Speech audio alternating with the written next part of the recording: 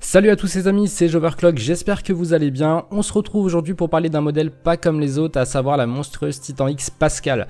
Alors la course à la puissance est apparemment le dada chez Nvidia, hein, qui en l'espace bah, finalement de 3 mois n'a cessé de sortir GPU sur GPU pour terminer bah, tout simplement sur la nouvelle Titan qui cette fois bah, promet des performances stratosphériques. Alors, avant de parler technique, il est important de rappeler que ce GPU est hors norme et certains se poseront la question d'un tel déluge de puissance pour un simple gamer. Quand on voit ce que proposent déjà des, 1070 ou 1080 actuellement, on est largement comblé. Mais il euh, faut tout simplement se dire que la vitrine technologique de chez Nvidia a d'autres chats à les fouetter.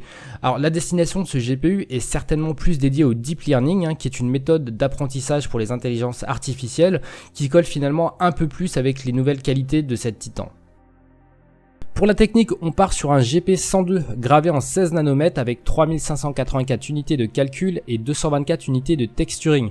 Alors cette Titan aura à disposition 96 robes. En ce qui concerne les fréquences, on parle d'un 1417 pour les GPU passant à 1530 en turbo et de 1251 MHz pour la RAM.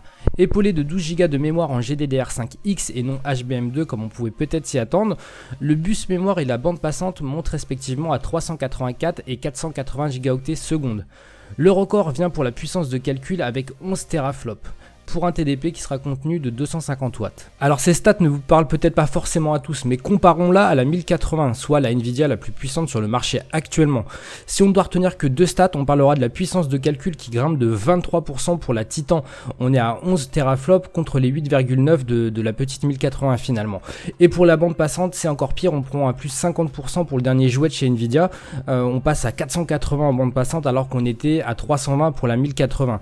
Si vous voulez une autre stat qui démontre un petit peu le, surplus de puissance, on est quasiment 60% bah, plus perf qu'une Titan X Maxwell.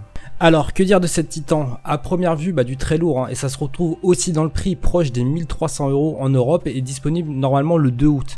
On se rend compte encore une fois que Nvidia garde un positionnement tarifaire épicé, on va dire, mais cette carte est un outil avant tout semi-professionnel et non un achat grand public. Elle se destine à un marché qui est déjà très restreint. D'ailleurs, la petite subtilité à noter, c'est qu'Nvidia ne la classe plus dans les séries GTX comme avant, mais comme une Titan à part entière, donc une gamme qui sera bien détachée du reste, comme pourrait l'être la Tesla par exemple. Bref, pour beaucoup d'entre nous, c'est un rêve, voire une folie inaccessible ou inutile, mais quoi qu'il en soit, pour tous les amoureux de GPU, c'est toujours un moment particulier de voir débarquer des modèles aussi exotiques.